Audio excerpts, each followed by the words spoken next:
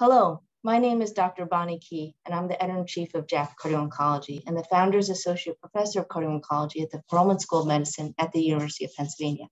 I'm here today with Dr. Ron Witteles, who serves as an associate editor for JACC Cardio-Oncology and is professor of medicine and co-director of the Stanford Amyloid Center at Stanford University. We are here together today to present to you our bonus October issue, dedicated entirely to the important field of amyloidosis. Hi, Ron. Thanks so much for joining me. Hi, Bonnie. It's always great to join you. Great. So tell our community, what are the three to five main take home messages that are most important for them to learn from this issue? Well, this is an issue I'm really excited about. There's so much great content in here. I, you know, I'll, I'll, try to highlight just a couple of those messages as you asked. So one is that really, whether you're a cardiologist or an oncologist, this is a disease you need to know. Um, it's uh, it's for an ATTR amyloidosis, it's downright common. Uh, for AL amyloidosis, it's not as common, but you will definitely come across it. And there's so much that we can do for both of these diseases if you make the diagnosis, and particularly if you make the diagnosis early. So there's a lot of really great content in this issue from sort of a how to perspective how to evaluate a patient who has a monoclonal gammopathy, uh, um, how to, what's the state of the art therapy for AL amyloidosis, particularly from a hematologist, oncologist perspective. Um, how should we, what's the state of the art for ATTR where so much has been changing? Uh, then important questions like what's the international scene of this disease with important pieces uh, from India, from Brazil, from Denmark, uh, questions like what can we do for more end stage forms of the disease from a cardiology perspective? Like when should we be thinking about MCS and transplants? And then a really important area that anyone caring for these patients knows comes up all the time, how to approach it from an electrophysiologic standpoint. And uh, we have great content in all of those areas and more. Yeah, thanks so much, Ron, for that perspective. And thank you for all of your great work and making this issue a possibility. Um, I agree full of a lot of great content. And I know I certainly also learned a lot uh, from reading each of the pieces in this issue. Uh, and I want to thank our authors and reviewers too for making this possible. You know, in reading through all the various pieces uh, that make up this issue, delays in diagnosis was a very prevalent and common theme across the cases, across the reviews, across the original research pieces. And I think to me, it's a critically important barrier for the field to overcome. From your perspective, when should one suspect AL amyloidosis? From the cardiologist standpoint and from the oncologist standpoint, when should they be suspecting cardiac involvement? Great. Well, let's let's start maybe from the oncologist standpoint. And um, in fact, I'm going to take that one step earlier, which is when should the oncologist suspect AL amyloidosis? Period. And you know, oncologists are going to see a lot of patients, particularly if they specialize more on the hematology side, with monoclonal gammopathy of undetermined significance or smoldering or symptomatic myeloma. And um, uh, you know, in general, there's not a clear role for well, when should you really screen? Should you be screening everybody in some uh, way for AL amyloidosis? Uh, what should be the trigger signs? And I would say there's a few uh, important ones uh, from a cardiac standpoint. Clearly, if anybody has monoclonal gammopathy and, and undetermined, with undetermined significance or a myeloma who then has heart failure, uh, you know, unless it's, for example, known because they've had a huge past infarct or something like that, that deserves a screen. Uh, anybody um, who has one of those diagnoses and a new arrhythmia, that person deserves a screen. But of course, AL amyloidosis can affect so many organs. That's one of the characteristic features of it. So somebody who has proteinuria, somebody who has an unexplained elevation in their alkaline phosphatase, often uh, being liver involvements, uh, somebody having dysphagia or new constipation. It's such a wide array of symptoms that once it's known that somebody has a monoclonal gammopathy, which is usually going to be when the oncologist is seeing the patient, you have to uh, you have to keep your eyes and ears open for uh, for any of those uh, signs and symptoms. Now, in terms of when they should specifically suspect cardiac involvement, um, really, every patient with uh, AL amyloidosis should be getting basic biomarker screening with a BNP or NT-proBNP and a troponin. And if those are abnormal, in fact, those are part of the staging systems in AL amyloidosis, that immediately raises a red flag. Really, every patient with AL amyloidosis should also get cardiac imaging of some sort, at least an echocardiogram, and should be getting an electrocardiogram as well. And of course, things like lowish voltages uh, should uh, raise red flags. On unexplained heart block, arrhythmias uh, uh, would be all things that would, would raise red flags as well. But I'd say, you know, once you've gotten to the diagnosis of AL amyloidosis, um, then evaluating the heart, that's more commonplace. It's more getting to the disease itself. Now, from a cardiologist perspective, it's uh, really, really important to remember this disease because AL amyloidosis is a fairly uncommon disease, but my lord, can you make a huge impact on uh, patients' outcomes if you make the diagnosis quickly? So, uh, and the imaging often will not come out and grab you the same way that an ATTR amyloidosis patient will, who tend to have much thicker hearts that are really the classic ones that you think about that you'll see in presentations. So they may not be that impressive in terms of increased wall thickness.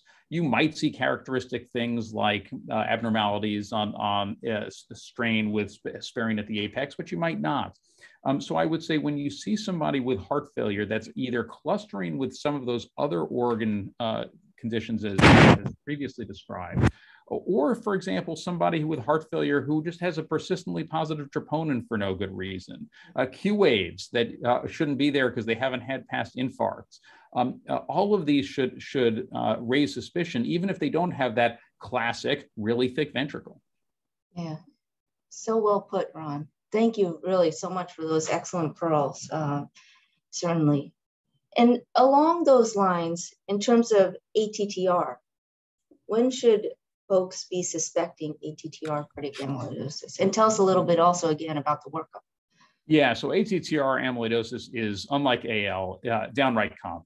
Um, it is not a rare disease, just period, hard stop. Um, in ATTR amyloidosis in a particularly older population, and particularly the older male population, we don't know why it's more common in men than women, but it is, um, uh, is just is not uncommon. It's downright common. So um, uh, a group of us a few years ago uh, published a piece that was suggesting that we should really be thinking about screening a older population who have thick hearts and heart failure or thick hearts and any other red flag like carpal tunnel syndrome or spinal stenosis.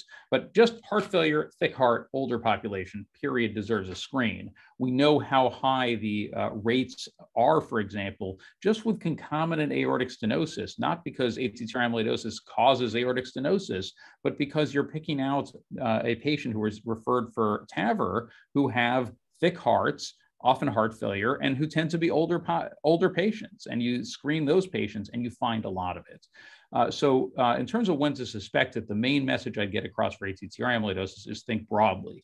Now, we also know that there's the variant or hereditary form of the disease uh, that in the United States is by far most common with a mutation uh, called V122I or uh, V142I, depending on the nomenclature you're using. And that, that gene mutation is present in about three to three and a half percent of Americans of African descent.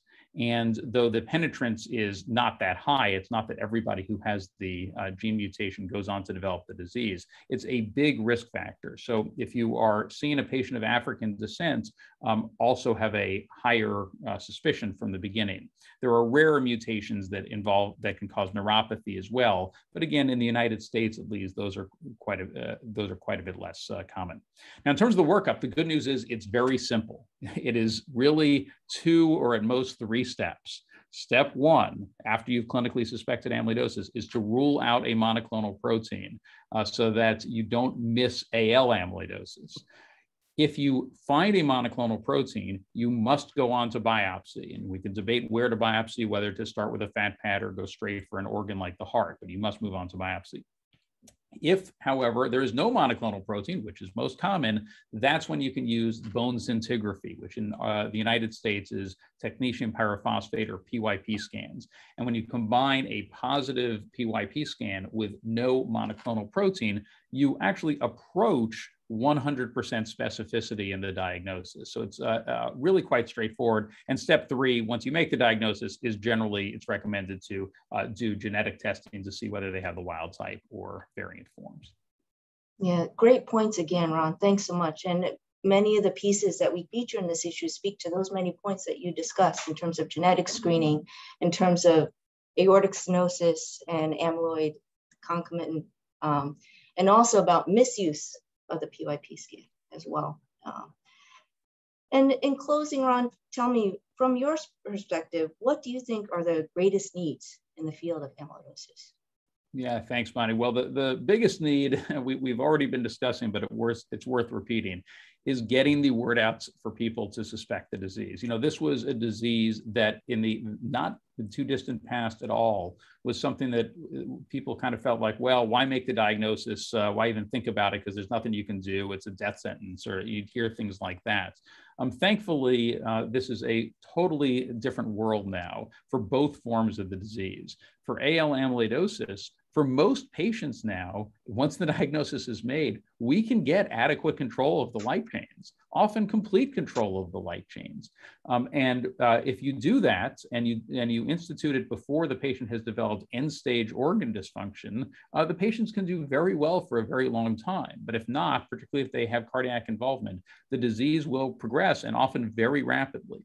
Uh, for ATTR amyloidosis, you know, again, it used to be not just a few years ago that we didn't have any treatment. So you'd make the diagnosis and you'd say, well, we can give you diuretics, I guess. You know, there's not a whole lot more we can do. Now we have one approved uh, treatment for cardiac amyloidosis that makes a big difference in outcomes two approved treatments and, a, and one that's used off label for the hereditary nerve form of the disease, and a host of clinical trials of agents where there's great hope uh, are going to lead to even better outcomes in the future. So making the diagnosis and, and getting the word out for everybody of who to screen, when to think about it is, is, is I still think number one. Now, in terms of other, uh, uh other areas that I'm hoping will uh, evolve over the coming few years, one is uh, the ability to make a definitive imaging based diagnosis for AL amyloidosis. We cannot do that today, at least uh, not beyond uh, uh, from a, research study standpoint. And that transformed the field of ATTR amyloidosis once bone scintigraphy, PYP scanning in this country, uh, uh, came on the scene. And so to be able to do that in AL amyloidosis would be great, not only because it would be more pleasant for the patients, less risky, but because then you could actually start thinking about when should we be using this to, again, get back to that question of screening patients who have known monoclonal gammopathies. So that's something I suspect is going to evolve over the coming years.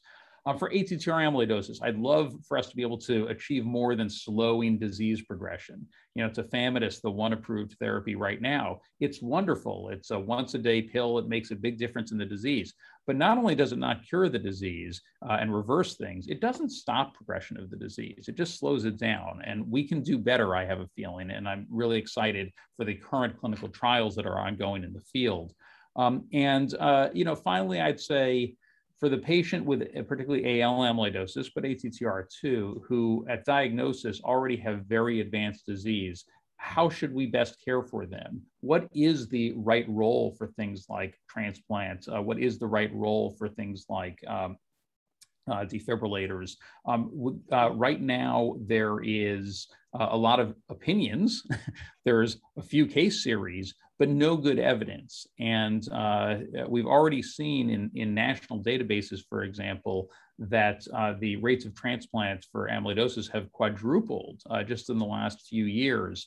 Um, at what point uh, sh should that keep going up? Is there some point that we reach where we say, now this is shouldn't go above this, or we're going to be transplanting patients? It doesn't make sense. I think that's going to be evolving more in the coming years as well. Thanks so much, Ron. Really excellent points. And the focus on therapies, I agree, a lot of excitement and a lot of new therapies are happening. And these are really well detailed in the of the art reviews that we have. I also think making the therapies accessible. There's a lot of notion about the really, really high cost of many of these, and they need to be accessible to the patients. You know, thanks for pointing that out, Bonnie. I, I should have mentioned that. Uh, it's so true. Um, uh, for ATTR amyloidosis in particular, because it is, again, the much more common disease, uh, right now, the uh, one approved therapy in the United States costs over $200,000 a year for a once a day pill that uh, does not cost much at all to produce. Um, that again is priced as if you're uh, you're talking about a super rare disease. Uh, this is not a super rare disease. It cannot stay at that. Um, and uh, we'll see. Will will competition if new uh, therapies come in uh, lower the price, uh, or will just en enough pressure from advocacy and other groups help help mm. lower the price? Because it can't stay like this. And if new therapies are approved and we now start talking about combining some of the therapies, silencer and stabilizer therapies, for example, and now we're talking about doubling or tripling that cost for patients who, who can and hopefully will reliably live for many years with the disease, you know, again, that's not sustainable and that needs to be addressed. Absolutely. Thanks again, Ron. Thanks so much for joining me today and for all of your great work with this issue. I want to thank our community as well for all of your contributions and support and hope you enjoy this issue as much as we do. Thank you. Thanks. It was so much fun putting together and it was great working with you and the team. Thanks.